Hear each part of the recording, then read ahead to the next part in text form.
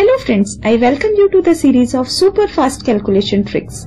In this video, we will learn how to multiply any number by 11. So see how I do the things. Let us take a number 1, 3, 2, 4, 3 and multiply it by 11. We need to multiply it by 11.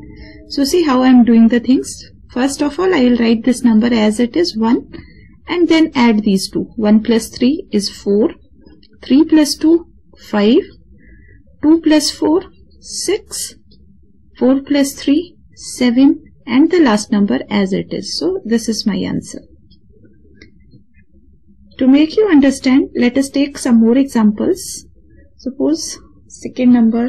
Let us take a big number. 3 4 2 1 4 2 7 multiply it by 11 first number as it is Sum of these two, 7. Sum of these two, 6. Sum of these two, 3. Sum of these two, 5. Sum of these two, 6. Sum of these two, 9. And last number as it is. So this is my answer.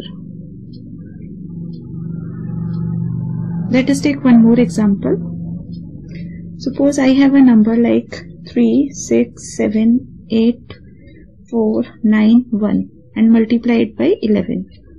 So first number as it is, sum of these two 9, sum of these two 13.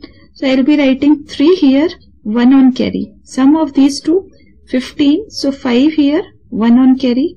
Sum of these two 12, 2 here, 1 on carry.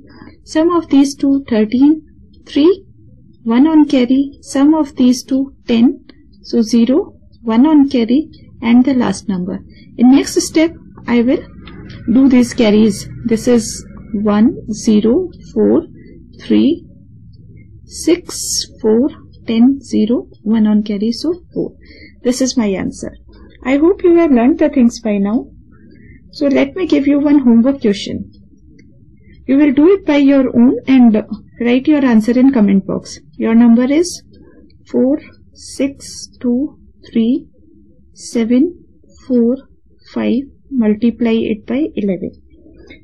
I hope you learned the trick. If you like it, give me a thumbs up, subscribe my channel and share it with your friends. Thank you for watching.